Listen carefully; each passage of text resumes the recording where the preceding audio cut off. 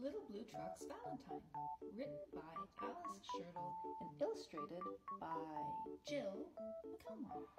Little Blue Truck was on his way delivering cards on Valentine's Day. Blue felt happy, for truth to tell, he hoped he'd get some cards as well. Blue drove into Hen's front yard with a polka dot egg-shaped Valentine's card. Blue said beep and Hen said cluck. What a perfect Valentine, little blue truck. Pig's pink card said please be mine. Beep, said Blue, happy Valentine. Oink, said Pig, a pretty pink, just right for cards and pigs, I think. In his big red barn was Big Brown Horse, and Blue brought a big red card, of course.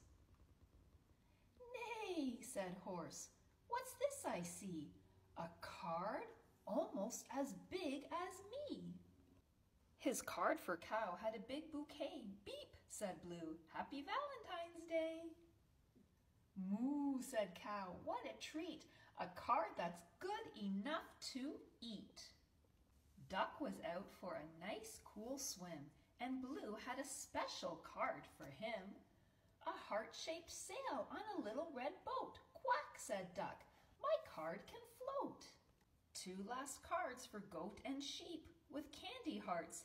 Beep, beep, beep. Bah, said sheep, sweet card blue. Ma, said goat, mine is too. Blue headed home, and all the way he tried to be glad it was Valentine's Day. But Valentine's Day didn't seem much fun when he didn't get cards from anyone. His own front door was open wide. Home at last, Blue drove inside. He couldn't believe his headlight eyes. Everyone yelled, surprise, surprise. Together now, croaked Toad, let's hear it. Quack it, clack it, oink it, chew it. Hip hooray for a friend that's true. You're our Valentine, little blue. Look for the complete companion books. Little Blue Truck. Little Blue Truck leads the way. Good night, Little Blue Truck. Little Blue Truck's Christmas.